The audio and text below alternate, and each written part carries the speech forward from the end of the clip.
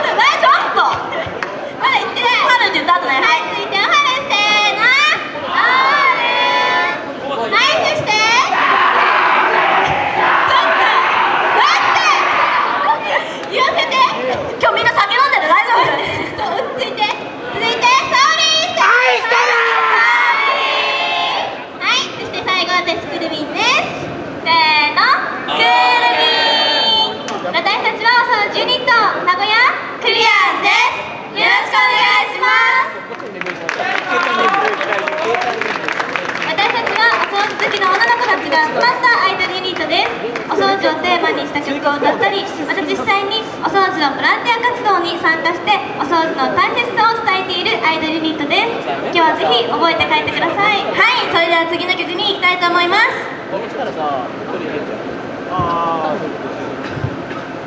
それでは聴いてください「桜トレイン」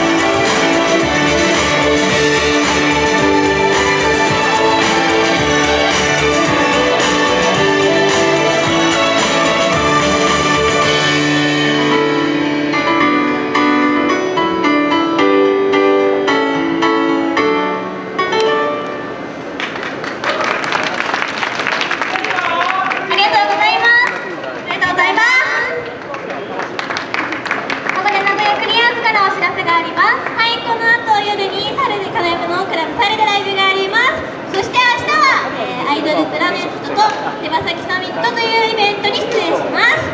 そしてなんと明日の夜はクラブサルで沙織こと神楽沙織の消化景色があるのでぜひ来てください。はいそして来週はですねミッキーとカホキュンとりょうちゃんが初の舞台「アリス・インクロンド・パラドックス2014」に出演します。っと日時はですね来週の水曜日から日曜日6月11日から15日までまだチケットも売っているのでまだぜひゲットしていないって方はぜひ本当に初舞台に気合入ってるのでよかったら来てください。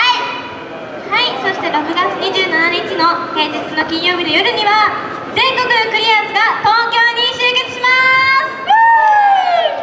はいそこであのクリアーズから重大発表が発表されるそうなのでぜひ皆さん万が一来れないという方はウェブ中継にて放送されるそうなのでそちらの方もチェックしてみてください。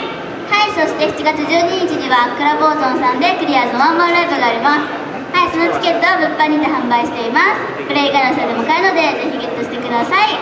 はい詳しくはブログツイッターで名古屋クリアーズと検索お願いします。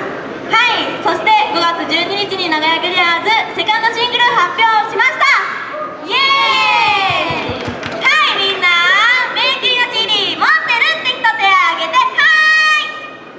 くね？じゃあ覚えたよ。さっきさっき覚えたよ。もう買ってない人。今日全員1枚は買ってください絶対。はいそしてですね、はい。CD を買うとなんと特典会があります。皆さんぜひ購入してください。はい。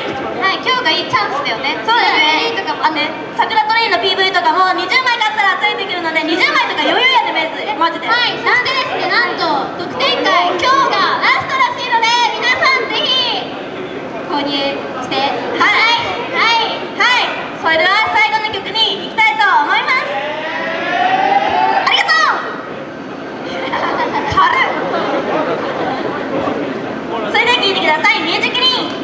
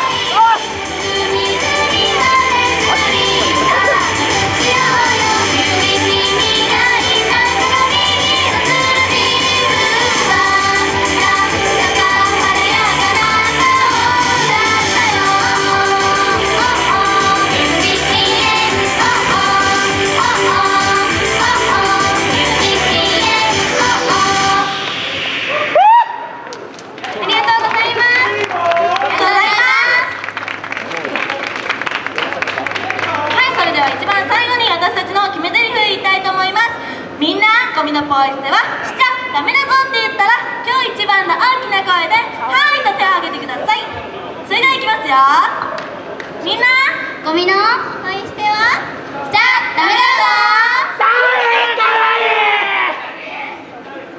いよくできました以上私たちお掃除ニット名古屋クリアでしたありがとうございます